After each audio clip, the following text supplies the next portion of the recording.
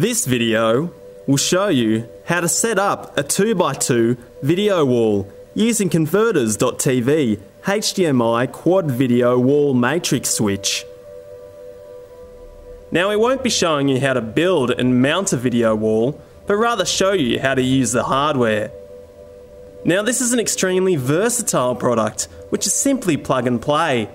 It does not need any computers or software to set it up.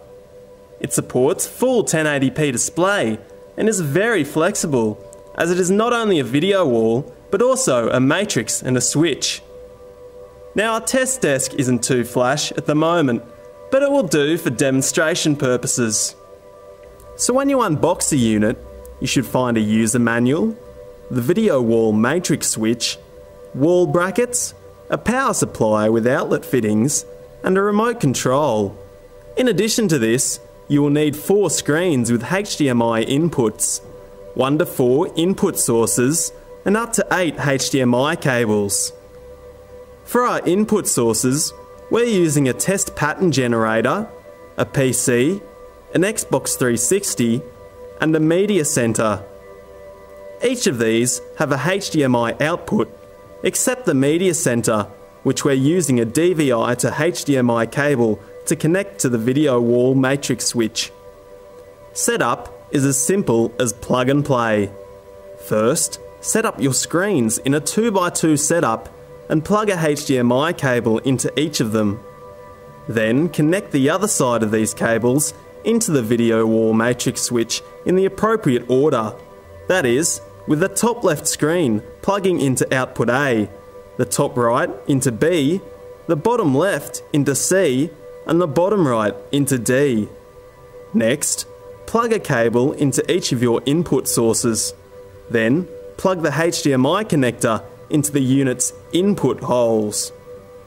By default, input 1 will display on output A, 2 will display on B, 3 on C, and 4 on D. The last step is to connect power to all of your devices. Now, when you power everything up, you should see input 1, 2, 3 and 4 display on screen A, B, C and D respectively. Now, you can test the unit's awesome capabilities. Since it functions as a matrix and a switch, you may mix, match, and swap what inputs each screen displays. To do this, on the unit, or with the remote control, simply press one of the output buttons. Then, to change what input the highlighted output displays, press the desired input number button. This allows you to mix and match what is displayed as you please. You may then save a favourite configuration for later use with the save button and reload it with the recall button. There is also a lock button that stops people from messing with the configurations. You may also do this for when the screens are in split screen mode, which you enter when you press the matrix slash dual wall button once. Again, you may mix and match the inputs with each output, which is great for multitasking. If you press this button again, you will enter video wall mode, which displays one large image across the four screens. You can then select which input displays by pressing the numbered button for your desired source. There are also many more adjustable options through the menu button, which brings up an easy to use on screen display on all of your monitors. The menu features standard adjustments such as colour, brightness, and contrast, but also includes features such as bezel adjustments, which lets you adjust the size of the image to compensate for any bezel on your screen.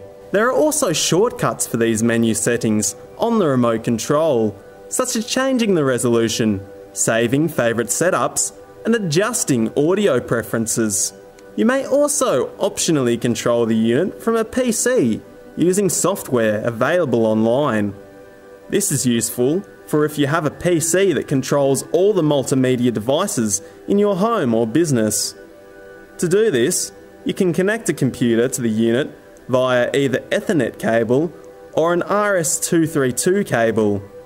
The software lets you adjust the same options as on the remote control and OSD menu for the unit and lets you choose if you are connected via RS232 or Ethernet cable. Troubleshooting is also simplistic. Common errors to check for if the image isn't displaying is checking that all power and multimedia cables are plugged in correctly. Power is indicated by a light on the unit.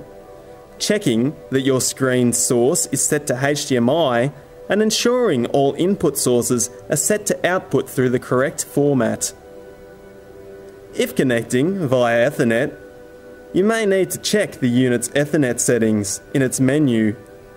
If you are connecting through a router, leave the connection set to DHCP. If you are connecting directly through PC, you will need to change the connection to static.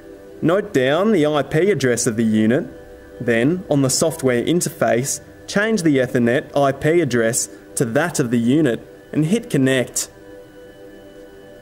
So that's the lowdown on converters.tv, HDMI over 4x4 video wall matrix switch.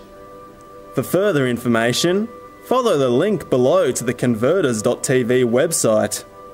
If you want to set up a larger video wall, or a simpler 2x2 video wall at a smaller cost, please watch our video for converters.tv's video wall controller processor. And there's more videos to come, so subscribe and find us on Facebook and Twitter if so inclined.